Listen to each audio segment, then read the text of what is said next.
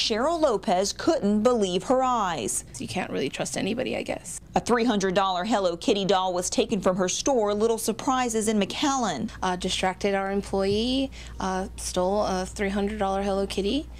Uh, right from under us, and I guess they didn't see that we had cameras. One of the girls noticed the next day that it was missing. Sheryl says she immediately went to the surveillance cameras, which had just been installed.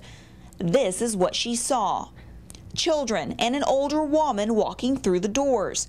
They browse around for a bit, and then the crime spree begins. Those little clip, beanie clips, are about $5 a piece. It looked like she took a couple of those 8, $9 bunnies. I would say she probably took another like $40, $50 worth of merchandise. Sheryl says it's not the loss of money that upsets her, although it does hurt. We're mom and pop. You know, it comes out of our pockets and everything, so it hurts us even more. The fact that this woman seemed to be using children to commit the crime is what really has this store owner angry. And it's, you know, to have kids involved in that where you can blatantly see that the kids were involved and, you know, helping their parents or whoever they are, these adults, take this cat. Sheryl decided not to file a police report. Instead, she's taking matters into her own hands, hoping this video will help to identify the alleged thief and bring her to justice. In McAllen, Katie Lopez, Action 4 News.